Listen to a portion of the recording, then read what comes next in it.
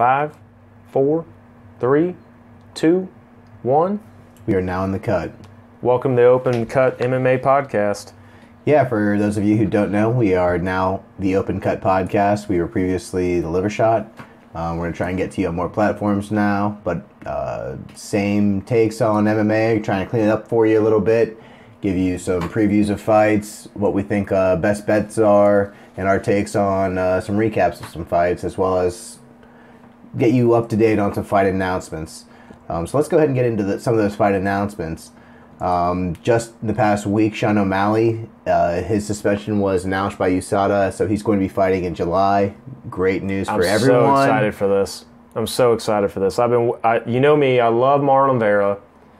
I think I said it. I'm calling it. I'm hoping 2020 he holds that Bantam belt at he- some point or in 2021. Uh-huh. Some point I think he's going to hold it. But Sean O'Malley, man, I think once the pop came from USADA, they took it well.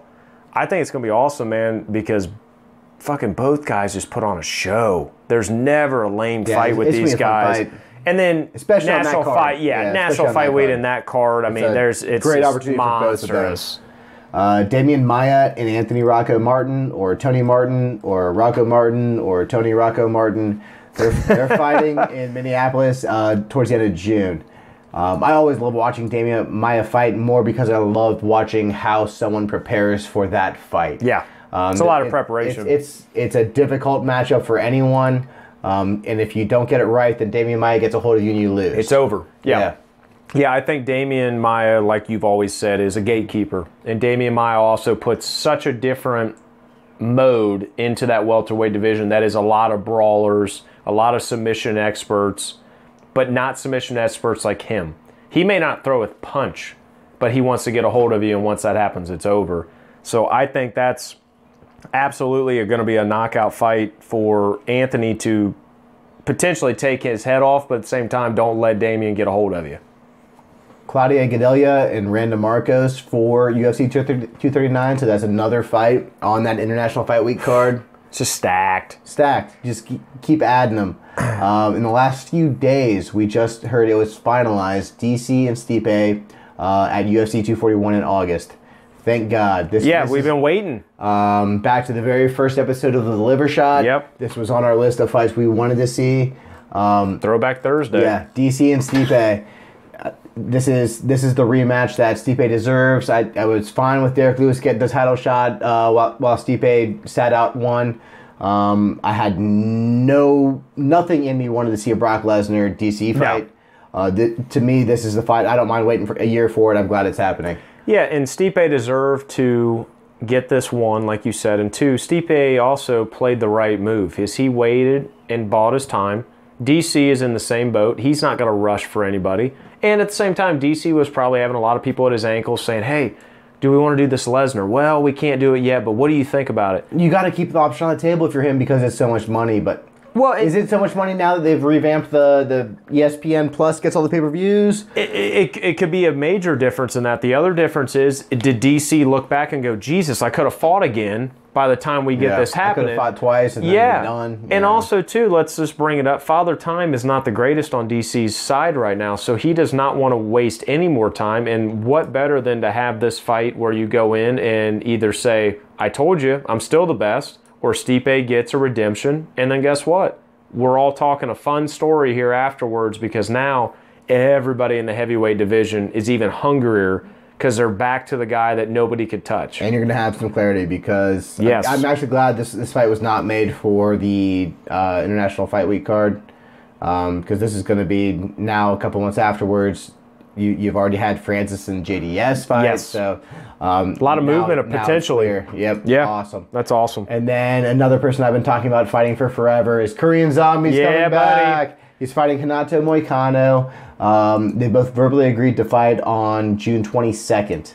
Um, so I, from all I have heard, that fight is is getting signed. Um, it is, is going to happen, and this is fantastic. I love watching uh, Korean Zombie fight, and it's good to see Hanato come back. I, I believe his last fight was that beatdown against Jose. Yeah, so- it, and it makes sense for both of them because they're both coming off losses. Korean Zombie, as everyone, if you've not known, had to take four years off from fighting in general, going over to do his, you know, his military service they had. So right now, yeah, he's wanting to take any fight that they can get him. So I think Renato is going to be able to get in there and absolutely have a huge opportunity to get back to where he was again. And then Korean Zombie's just fun to fight, watch fight anyway. Even with the Yair knockout, who Oh gives a gosh. shit? That was the best Gosh. fight I've seen in years. I know it's so fun. And, then yeah, it it ends sucks like for that. him. And then it ends like that. But it sucks. But at the same time, is no one's going. Well, that you know that really hurts him. No, fuck, that might have put his stock up. Mm-hmm. So yeah, I mean, just the fight announcements are out of control.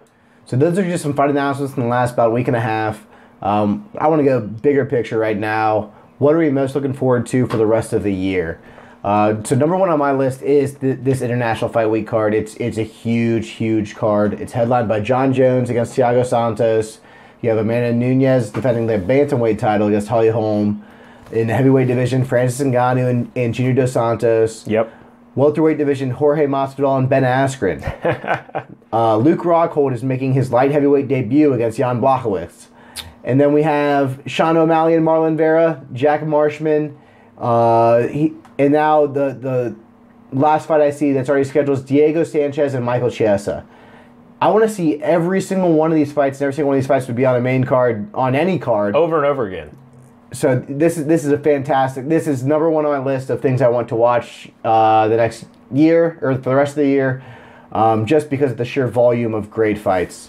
Yeah, and, and, and this is just a perfect example of how they always do it with Fight Week. They stack a card, they get all the fans excited. Everybody waits for a fight like this. All of them. And I I, think mean, in the past they've they've actually had like events Friday, Saturday, Sunday, and I, I think I like this more. Just I like the stack. shove it down my throat, Yeah, throw just it in give me one it all. day, and yeah, I'm ready. I'm, I'm going to stay Don't at the house. prepare for the next day. yeah, load the cooler. We're not leaving the house. Make sure all the recordings are on. We're watching them all. Because I mean, you got Ben Askren coming in from one. You got Masvidal that can't stand him, who just had a huge knockout on Till. I That's mean, what, what. Which fight are you most most excited for on this card? I think on that card, the most entertaining that I think is going to be just, I think is going to be that O'Malley versus Marlon Vera because O'Malley is so flagrant, just the stuff he does, and Marlon Vera is violent as fuck, and I love him.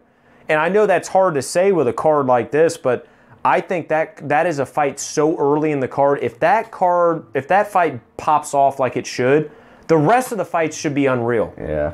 and I hope Luke gets knocked the fuck out in that card. I hope I hope Jorge knocks the fuck out of Ben Askren. We got money and on then that, right? We do have money on that. So for anyone that doesn't know, Don does not think that it, that at any time Ben Askren is going to be knocked out because That he is Not, survived. that's not what happened. well, I- that's what I it sounded like to me. You said during his next fight he gets knocked out, and I just don't. I just I'm taking the I'm taking the chances. Right. He's never lost. I'm betting the next fight he doesn't get knocked out.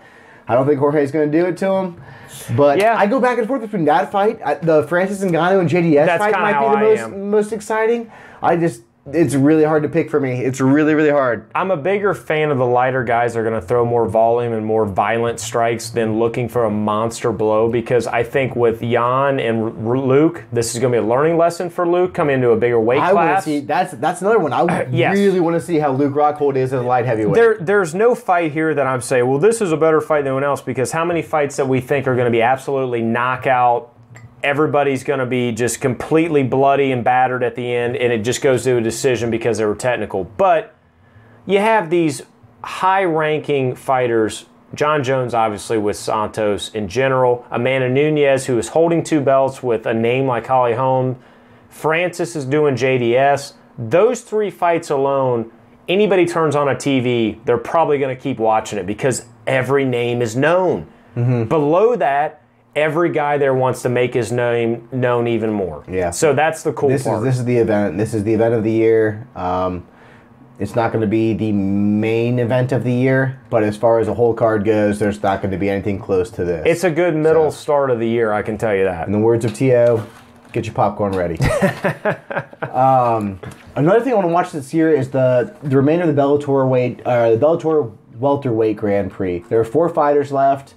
Um, we just experienced the current champion going through a draw in this tournament. Um, a majority draw. The, the the judge who didn't give him the draw actually scored it the other way.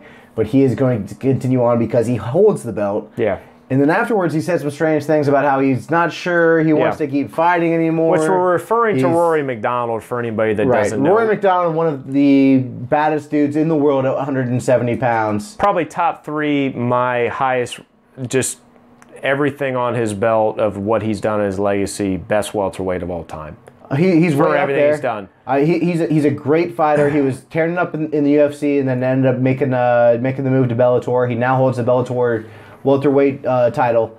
He is part of this Grand Prix. Um, he just fought John uh, Jon Fitch. Fitch. And like I said, it was a majority draw. He gets the nod to move forward because he is the title holder. He was talking about maybe I don't want to fight anymore. I don't like hurting anymore. That went away after the next week, and he says no, he's good to fight Neiman Gracie coming up. Yeah, you know, I, I, I, I, one, I wish the Grand Prix was a more popular thing like it was back in the day with the Pride. You like the setup? I love the setup because it's entertaining to say you won, you won, you're next. These are the, yeah, these are our top eight fighters in this division. You know who Find you're going to fight eventually, whether it's a guessing game or not. It's it's very similar to what they're doing in the PFL, which used to be the World Series of Fighting. Is Yeah. I'm going to fight you, Regular you're going to fight season, me. whoever does the be- we're the best. And I think it makes it easier for matchups. It does hurt for big cards because maybe somebody you know happened to have a bad night and they usually might have gone a little bit farther, and then now they don't get the big name card that they normally get You gotta win. you got to win. No, and that's the thing is I think it pushes people's feet to the fire to say this is where you have to show up because it's one or done. And then look at this. Jon Fitch and Rory go to a draw because of the placement of where Rory was. Rory advanced, John did not. Mm-hmm. So there's even more on the line to say you need to go in and make a statement I'd and absolutely he becomes an alternate if if they need an. Oh no, he'll 100 I would percent be an imagine he ultimate. would. Uh, What I'm saying is, is Rory obviously moves forward in that draw even to be able to fight. Obviously, you know the next fight there. But I think the structure of it is what more sports in the MMA community need. Honestly, Yeah, I don't hear nearly as much talk about it as I did when they were doing the heavyweight Grand Prix, and it's probably just because it was heavyweights. Well, some of them were heavyweights, most of them were just fighting at heavyweight. Well, they got smart. They realized other divisions would be happy to do the same thing, especially with the paycheck at the end. You got to think of Oh, the yeah, PFL, yeah. what the PFL did. big. A million dollars saying, okay, come get it. There's a lot of guys there that don't have a pot to piss in. They're going to probably Oh, do yeah. anything to get it. So I don't know. Before this started, I really, really thought uh, Rory was just gonna walk through it. Oh, everybody I did. did. I think everybody did. Now I think that anyone's got a chance. I mean, I don't, I don't know a whole lot about Neiman Gracie, but the Mousasi him. Lima and uh, MVP both. I I think they got a chance. No, I mean, whoever comes out of that side. I think what hurt Rory going back to it is the Mousasi fight hurt his momentum because Rory had Hagar no messed him up good. he had no he had no business fighting That's at middleweight. guy I wish would stay, have stayed in the UFC. Well, you know he- what? He's a perfect there, he's a perfect example that didn't get the respect. Very similar to DJ. Mousasi was murdering people in that. the best people. The Ryan Hall loss is what they said made him leave, which or not Ryan Hall, um, Uriah Hall. I apologize. No, Uriah Hall. No. Pretty sure. Oh, Uriah Hall. Okay. Uriah Hall. Yeah, No, no, not Ryan okay. Hall. Not the not the uh, jiu-jitsu master. No, that fight. They did not look at all the fights prior to that. Mousasi is probably all time top five greatest middleweights. Oh, yeah? From the the guy has been fighting since he was 18 and been fighting in Pride, Rise and Dream, fighting all the top fighters, and then came in the UFC, cleaned up a lot of guys, and then always asked, "Where's my title shot? Where's my title shot?" And then went to Bellator. It got stripped from him because he didn't. I mean, it was like the uh, Chris Weidman trying to time his hands for what's a downed opponent. I Yeah. think that was his last fight in the UFC. Yeah. But yeah, I think he was sick he of was it. one of them that was just like, man, if he, he should be fighting for the for the middleweight belt, he's a he's a fantastic Yeah. fighter. Now he's got a middleweight belt. Yeah. and he beat the hell out of Rory. Well, and that's what I want to go to is Rory. I think if he wouldn't have taken a fight like that and focused more on the welterweight division and say, I'm going to stay where I need to be in my lane and I'm going to fight these Grand Prix, which he's doing now, he's doing it already. I just think that that kind of pulled him back a little bit. That was a lot of damage because that Diego Lima fight to get the belt, good lord, he had a person growing out of his leg because of the kicks from Diego Lima. And Diego Lima is not someone to fuck with. So I think, uh, I think honestly, Rory right now has a huge opportunity to just make some splashes there, but God, he's got some tou- tough guys to go in this Grand Prix. Like you said, MVP is no joke. man. MVP is no joke. Lima joke. is neither. He's got holes in his game, but there is Yeah. stuff that he does that it, if you flinch, I would still say Roy's the favorite yes, for sure. but if you flinch and blink, he's putting you out. Cyborg found that out with a cracked skull. oh my goodness, just yeah, that Gone. Wow. wow. Uh, also on my list is the rematch between Stipe and DC. We already got that enough. Probably don't have to talk about that anymore. Um, we've got a bunch of big women's fights coming up this summer. Yes. Um, we got into that a little bit of the, liver shot. Yep. Uh, but there could be some women's belts changing. If not, there's going to be a, lot of new top contenders. Yeah. Um, just between now and the end of July. and still it's- fights it's to make be- before yeah. the end of the year. Yeah. Yeah, there's there's a lot of opportunity there, and then also a trend that we've been seeing this year that I think is going to continue is fighters moving up in weight classes. Yeah. and I want to see I want to see how successful these fighters are. So far, they've been pretty successful. Um, almost every fighter that's moved up in weight, um, maybe with the exception being Max Holloway. Has been has been uh, That was a very big jump and guess in yeah. Cerrone moving down in weight. Yeah. Um, so Which Cerrone though was original 155er when he Yeah, I was at guess it was just- a little detour When he to was at Jackson's, 170. Jackson says, "I want you to be my 155er." He fought there for you know eight years basically, and then the welterweight opportunity came in. I mean, it's just it's timing like everything in life, and I think timing in weight classes is a huge thing. Sean O'Malley in the bantamweight. Sean could be a terrific featherweight. Doesn't mean he'll want to do that. There is guys that have the body types to go there. RDA, do you think anybody looking at RDA thought, yeah, go from lightweight to welterweight? That'll be a good choice. I thought he, I thought he was, he needed to move up, Because the cut was so but terrible. he was doing so well. That's it's tough to tell someone to do so well when they're ranked one, two, three, Exactly. champion. it's so- just one of those things. It's definitely timing to me on those classes. Mm-hmm. And then the last thing I am really looking forward to this year is it, all signs point to that we will be unifying three belts. So f- for the first time in what seems like a, a while, these interim belts are going to pay off. Yep. Uh, we've got Khabib ret- returning from suspension to unify the belt with Dustin Poirier. Whittaker returning from injury to unify his belt with Israel Adesanya. And Kamaru Usman, I hope this happens. Oh my gosh. Uh, unifying with Colby Covington, who has the interim belt. Of those three, is there one you're more excited about? out of all of those, as far as what the upcoming to the fight that I'm more excited about is the Usman Colby because you have Trump's America versus a guy that has been grinding and fighting and injury and fought through it and just did everything and dethroned a man at one point that none of us thought was going to be beat, which was Tyron Woodley in the welterweight division.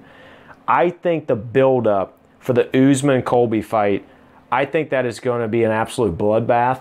I don't think it's going to be grind out. I think Usman wants to make Colby pay, and I think Colby thinks he can take out Usman, and I think it's going to be a long, drawn out match. I'm more excited for that.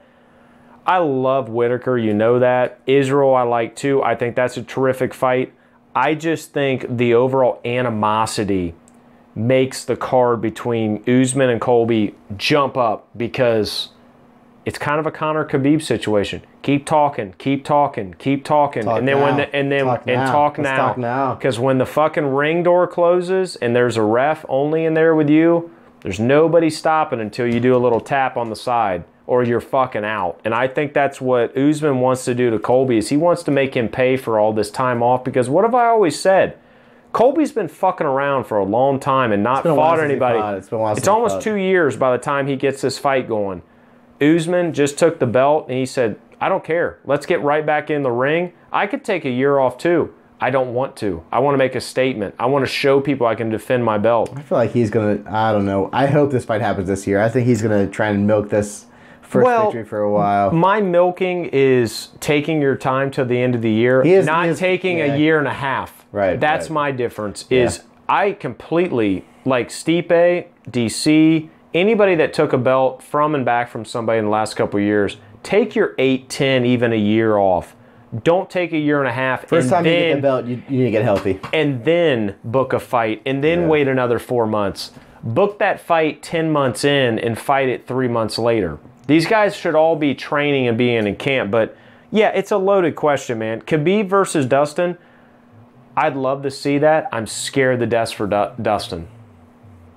I really am. I think Khabib is going to come back and go, "Oh, you've seen my fights before. Well, that's congratulations. You beat Max Holloway a weight level lower than you mm-hmm. normally.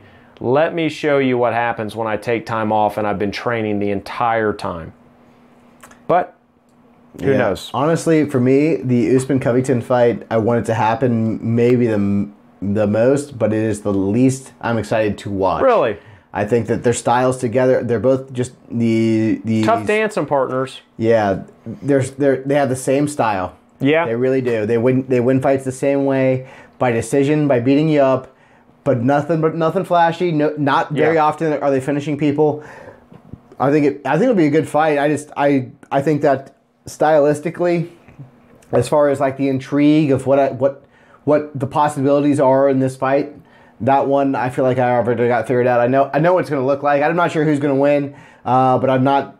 It's not the most intriguing to me.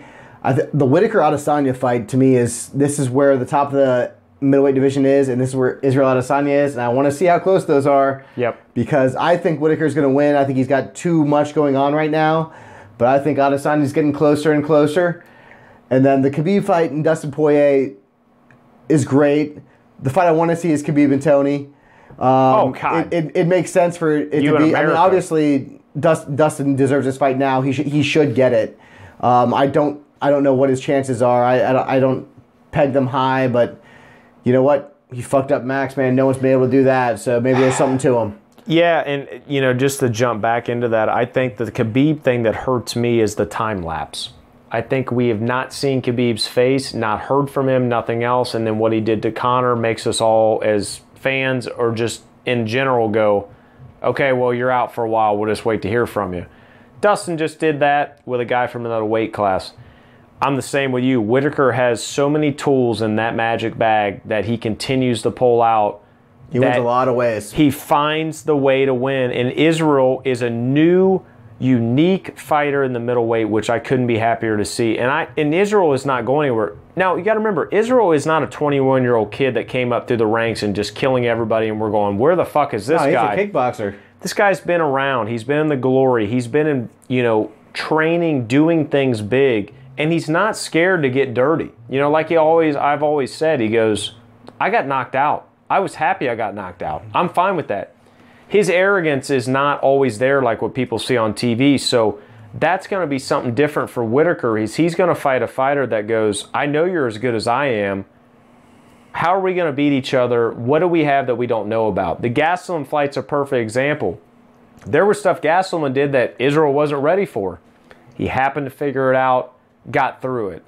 Um, but yeah, to me, honestly, the Usman Col- Colby, I know it's not the most on paper and past fights entertaining.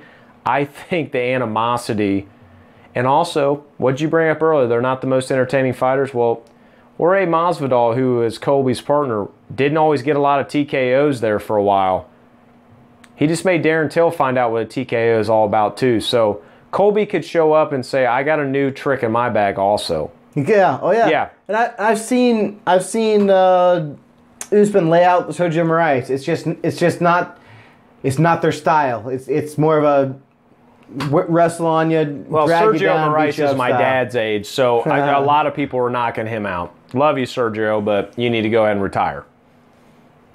All right, so I think we're gonna end it there today. That is Yeah. going to be our intro uh, episode to the Open Cut, and we'll get back to you after UFC 238. Let you know how we feel about that, and then uh, obviously we'll give you some more previews moving forward, especially to that 239 card. Yeah, buddy, stitch it up, and we'll see you next time.